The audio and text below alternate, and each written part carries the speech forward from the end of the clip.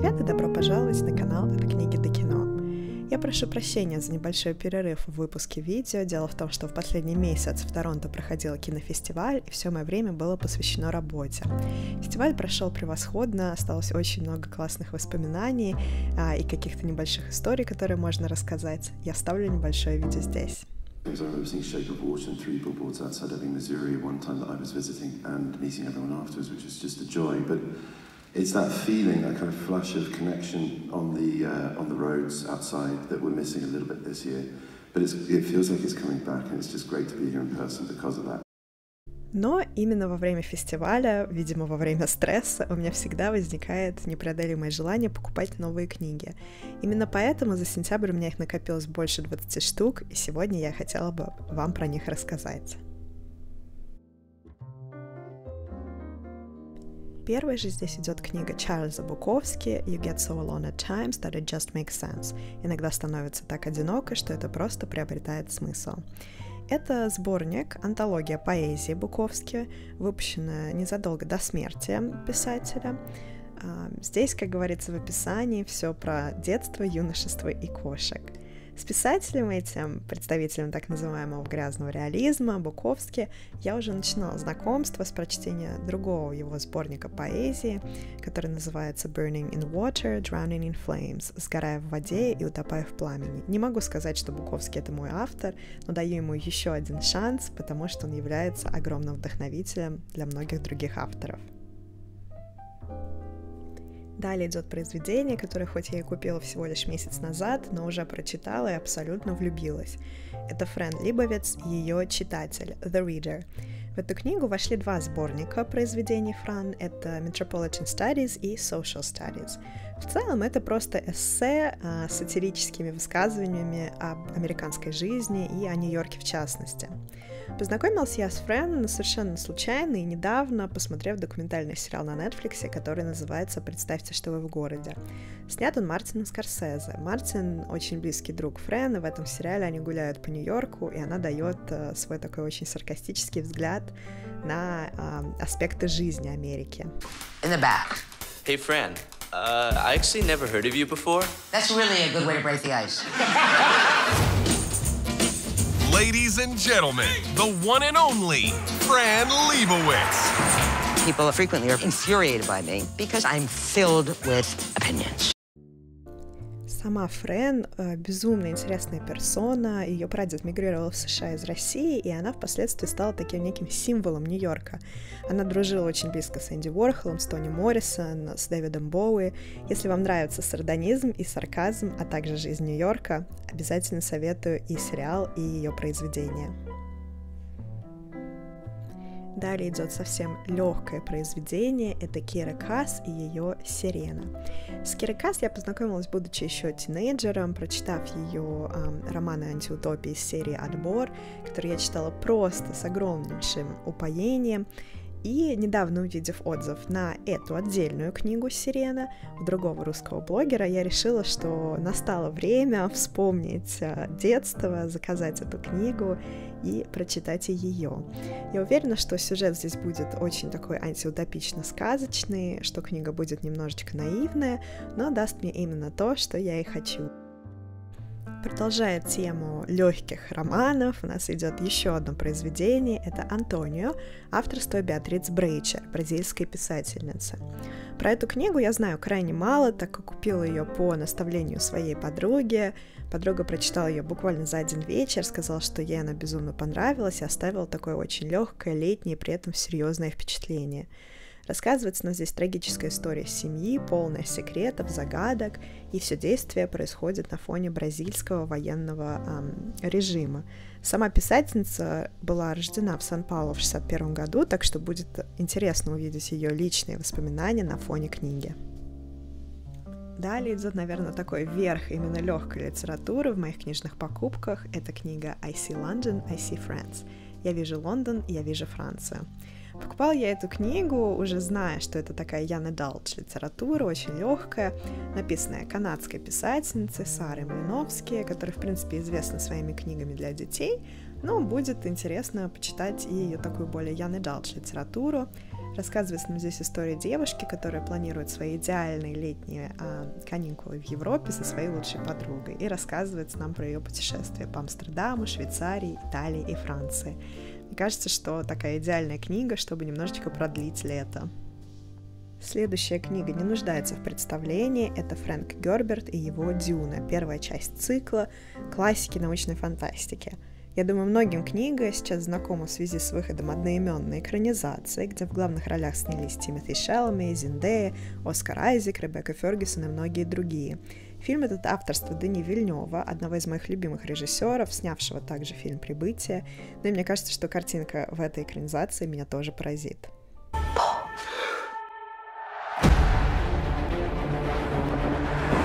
Boy. Duncan, can I trust you with something? Yes, always. You know that. I've been having dreams about a girl on Arrakis. I don't know what it means. Dreams make good stories. But everything important happens when we're awake. Hey, you. Put on some muscle? I did? No.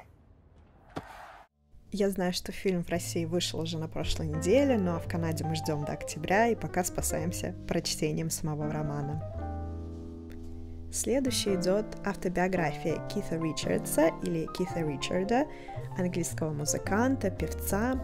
Я думаю, более всего он знаком нам по его участию в группе The Rolling Stones, где он выступал одним из создателей, гитаристом, вторым вокалистом, а также одним из главных авторов песен. В этой книге он нам рассказывает про всю свою жизнь, начиная с самого глубокого детства, рассказывает, как он обнаружил свою любовь к музыке, как он начал работать с The Rolling Stones, как он писал все свои самые известные хиты с Миком Джаггером. Я думаю, что если вам нравится музыка 70-х, так же, как мне, то обязательно приглядитесь к этой книге. Она написана при поддержке журналиста Джеймса Фокса, так что, мне кажется, читаться будет легко и при этом безумно интересно.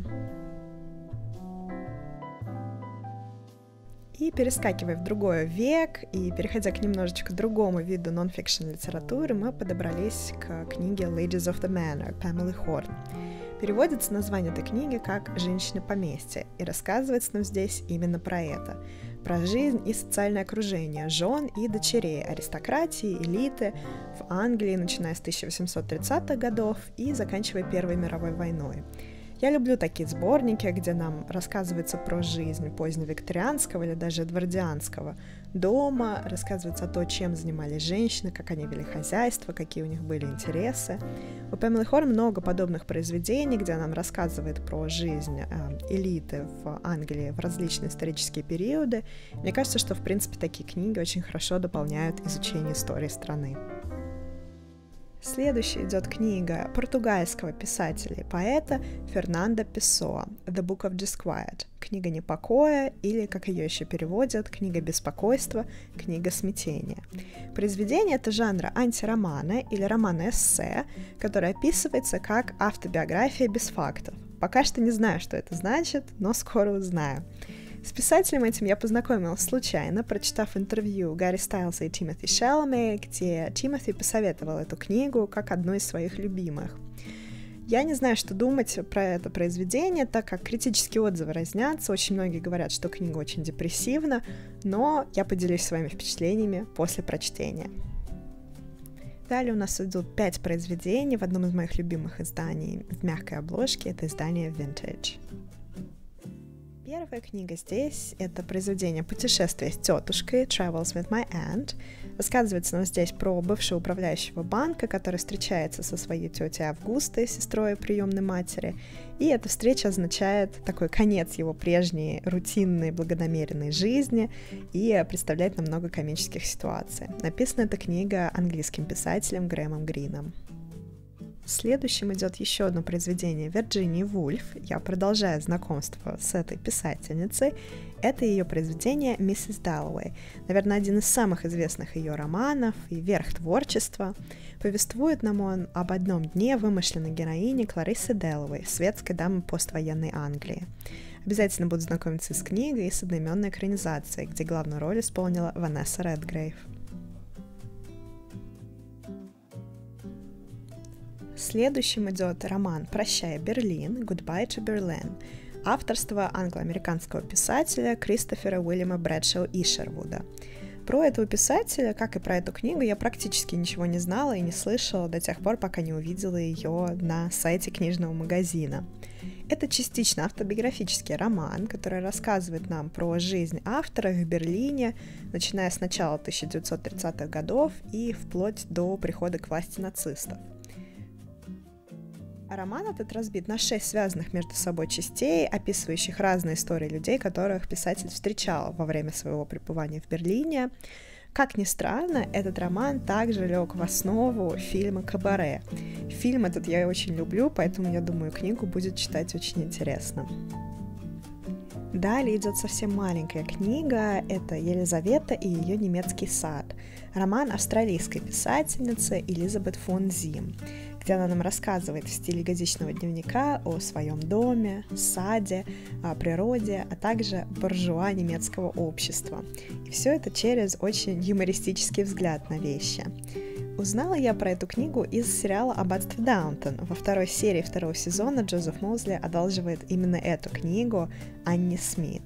Я очень загорелась прочитать эту книжку, уже несколько страниц прочитала, и мне кажется, что, опять же, будет такое очень душевное произведение. Продолжаю знакомиться с Хемингуэем. Здесь его роман «A Movable Feast» — «Праздник, который всегда с тобой». Во многом это книга воспоминаний американского писателя о его жизни в Париже.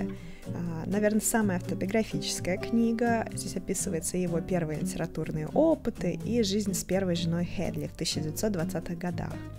А, мне эта книга интересна за счет того, что здесь а, очень много портретов, литераторов, художников того времени. Алистера Кроули, Фрэнсиса Скотта Фицджеральда, Перси Льюиса, Джеймса Джойса Гертруды Стайн. Так что, мне кажется, читать будет интересно. Далее у нас идет продолжение Марселя Пруста. Я уже упоминала и про этого автора, и про его сборник «В поисках утраченного времени». Здесь у меня вторая и третья части. Это «Под сенью дев, увенчанных цветами» и «Страна германтов». Такие толстенькие книжечки, немного меня пугающие. А, мне безумно понравилось первое произведение «В сторону Сванна».